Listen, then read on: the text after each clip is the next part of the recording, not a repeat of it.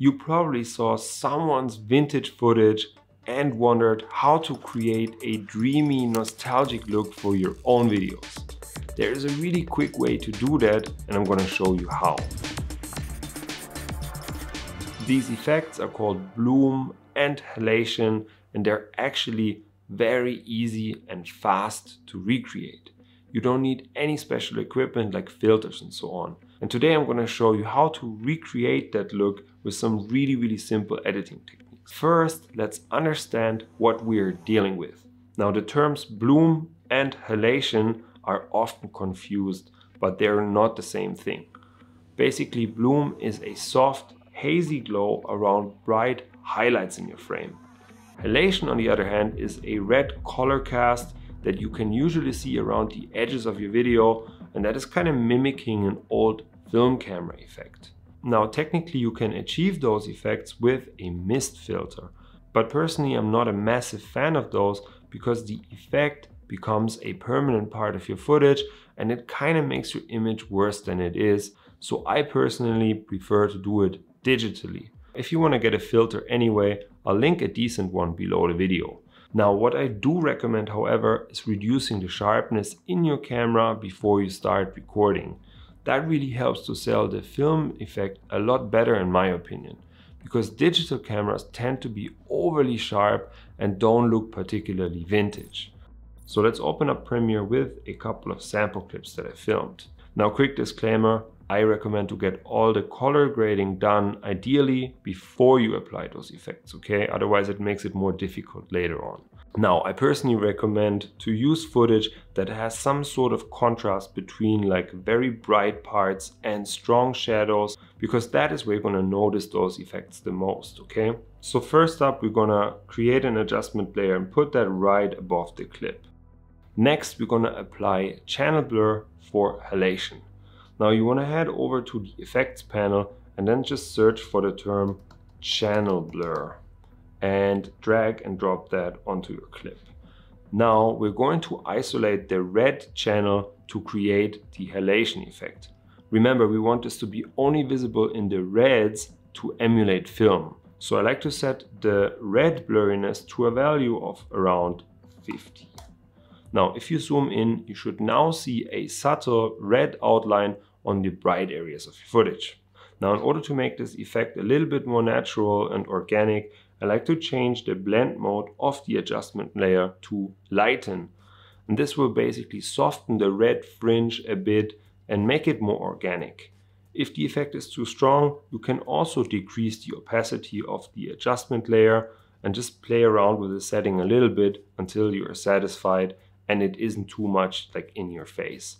In my example, I guess I could reduce it like quite a bit to like 70 or 80%. Now let's look at the before and after and you'll notice like a little red lines around the edges and I think it looks pretty awesome and is just what I wanted to achieve.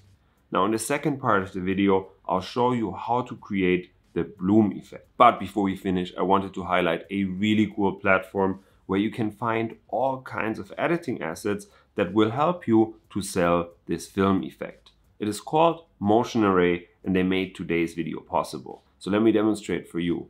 All I have to do is log on and type in a keyword like vintage and that gives me so many clips and templates and sound effects to match this specific style. Those kind of assets really help you to make it more convincing. So for example, I could use these kind of film burns as a transition in between clips or I can find some really cool textures that I can overlay on top of my video. If you sign up for a year, it costs like $19 per month and that pretty much hooks you up with everything you need for your videos, stuff like music, sound effects, presets, stock video, you name it. And I got a special treat for you. If you sign up through my affiliate link, you'll save like 50 US dollars on top of all of that meaning you'll pay only like 17 bucks per month for everything that you need as a video creator. It is much more useful than spending money on camera gear that you barely use. So once again, massive thanks to Motion Array. And with that said, let's crack on with the rest of the tutorial.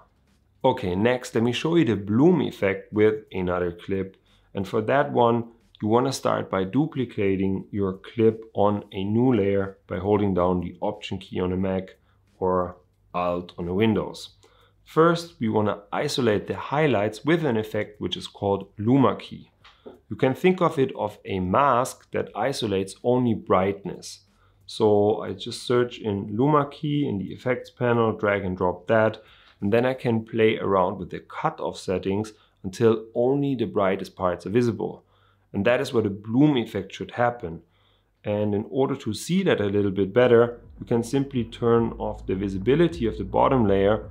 And now if I move around the threshold, I can see which area is affected. So in my particular example, I think the cutoff value is best around here, but it obviously varies a lot depending on the footage that you use. Cool. Now we got one last step to kind of give it a chef's kiss and that is adding a Gaussian blur to the top clip to make it a little bit more blurry and dreamy. So once again I head over to the effects panel and I just search for the word Gaussian blur and I drag and drop that. And then I like to set the blurriness to a value of like higher than 60 and I also like to make sure that the repeat edge pixels option is checked to avoid the edges getting a little bit too harsh. Now once again let's look at the before and after and you notice a very beautiful soft glow around the highlights giving your footage that nostalgic bloom and everything is a lot softer and very very vintage and cool. And wow, congratulations like digital high five. If you found this helpful you might also want to check out this video right here where I created a homemade disposable lens that also looks super super vintage and awesome. You can use it with your digital camera so make sure to check that out and with that said I'll see you guys later in one of the next videos.